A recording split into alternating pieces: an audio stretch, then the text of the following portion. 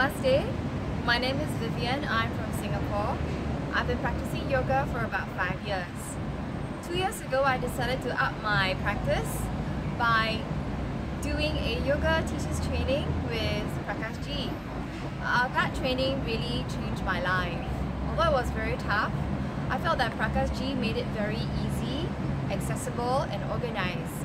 And since then, I have become a Hatha and Vinyasa yoga teacher and due to his influence, I've also begun thinking about taking meditation quite seriously.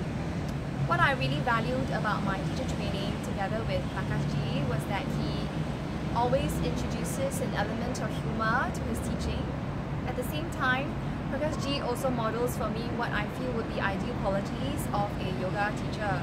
He's humble, knowledgeable, and at the same time, he tries to make classes very accessible for his students.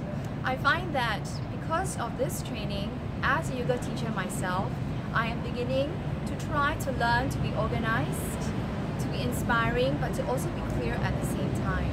I would love for everybody to begin to understand how wonderful a teacher Prakash Ji would be and I'm definitely looking forward to attending his school in India where he will be conducting a lot of his classes and also continue to inspire his students. Namaste!